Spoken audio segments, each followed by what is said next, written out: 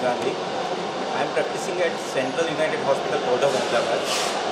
Uh, regarding Aviptadil, I have used that in three patients, uh, those who are having bilateral pneumonia and type 1 respiratory failure. It does wonder.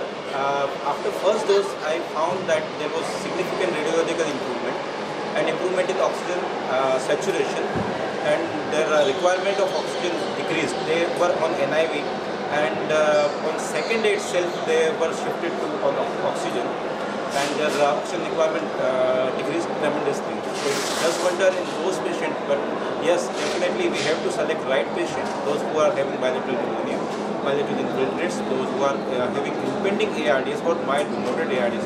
In severe ARDS, I uh, still uh, we need to uh, use that in uh, uh, much more patients, but yes, mild to moderate, it does wonder.